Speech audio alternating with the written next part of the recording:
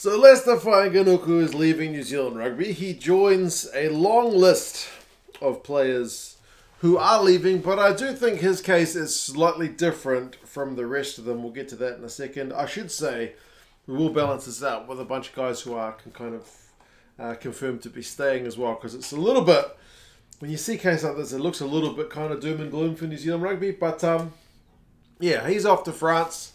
This is his last year with uh, with New Zealand rugby, and it kind of brings into question whether you take him to a World Cup because not always. I mean, Tawera Kerr-Barlow famously made a World Cup final, uh, despite the fact that he'd already signed to go abroad. But generally, the guys who are staying get priority over the guys who are leaving, which kind of makes sense from a New Zealand perspective. But how's it been going this season? Well, he's the top equal try scorer uh, with Shaun Stevenson playing the house down for the Crusaders uh, in Super Rugby, and um, I mean his attacking numbers are pretty good.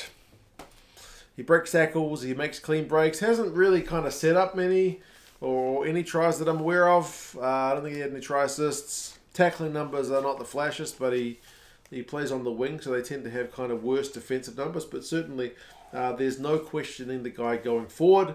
Uh, managed to get a taste of All Blacks actions uh, last year, but then kind of found himself slightly out of favour. I believe it was kind of reported that he was in the final stages of signing a deal, and then Scott Robertson looked to have maybe swooped in as the future All Blacks coach and asked him to stay, but it doesn't seem to have been enough because, um, as I said, uh, he is off to France. So it's a pity, and I do think it is a bit different. I say different because when you look at the guys who are leaving, and in no particular order, you've got Barrett, Mo'unga, Aaron Smith, Brodie Retallick, uh, Shannon Frizzell. All these guys are going to Japan. You got um, Sam Whitelock, I believe, going to Pau. So Akula going to Clermont. So a few guys going to France. RTS is going back to the Warriors. Uh, Brad Weber is going to France. I think Laulala is going to France.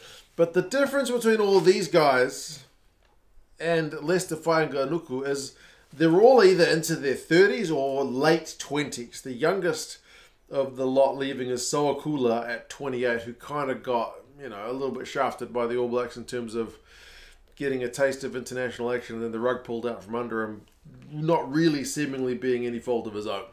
So at 23 years old, Leicester Fainga'anuku is by far the youngest of all these guys who've kind of confirmed that they'll be leaving New Zealand rugby at the end of this kind of international cycle. Of the guys who are staying, there are plenty of guys who are older than uh, than Leicester. I mean, recent kind of uh, contract signings. ALB is extended to 2026. He's 28. Rico is extended to 2027. He's 26. So he's kind of in a similar age range, although a lot more experienced than Leicester. But still, he was one of the guys who kind of said uh, he talked about legacy rather than finances, although there is a sabbatical in Rico's contract where I think he gets 2025 off, so he'll certainly be boosting his finances while staying in New Zealand. Um, I guess that's the difference between being one of the kind of top guns with heaps of caps. You can do the sabbatical thing. Uh, whereas if you're a fringe guy like Leicester, you probably don't have that kind of negotiating power. Uh, D-Max through to 2025, Taukei'aho 27, uh, to Groups through to 2026, David Havili to 2025, Tyrell Lomax, Jordie Barrett, Scott Barrett, all those guys are 2026 or 2025. I mean, Clark, Papali'i, Tuipulotu, all 2024. Sevu Reece, Perofetas, Tupavai, Ardie Savea. Ardie Savea is going to have next year off from New Zealand Rugby, but he's still extended to 2025. So, yeah, there's a bunch of guys. Sam Cane, Ethan Blackadder, both those guys are staying as well. So, um, yeah, there are a bunch staying. Although, as I said, a few have kind of got sabbaticals in there, but it is a real kind of pity to lose Leicester at this age and this point of his career. You do feel like he would have got back into the All Blacks at some point.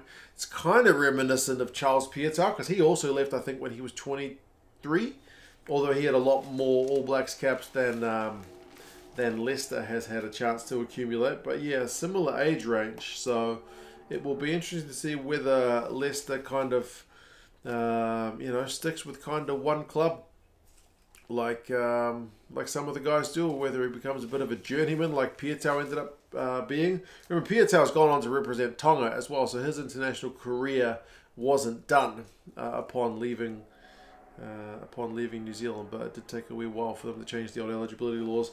I mean, there's even fringe guys leaving New Zealand, which is a, um, a concerning one for New Zealand rugby's death. I mean, depth with like Tom Robinson, Alex Nankivell, some of those kind of guys who couldn't quite get themselves into the All Blacks framework heading overseas as well. So you do wonder uh, how New Zealand rugby's depth is doing, but it feels familiar.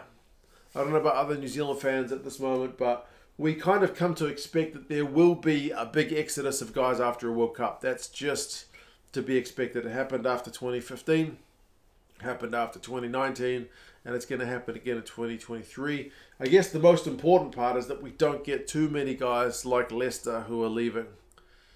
Uh, you kind of prefer it to be the guys at the end of the career. I do feel like some of these guys leaving like are a little bit younger than what it used to be. Like the fact that Mo'unga is still in his 20s, albeit late 20s. Um, you know, is a little bit younger, but I mean, most of these guys 31 is Bodie Barrett, 34 Aaron Smith, 31 Retallick. Um, you know, those guys have kind of done their time.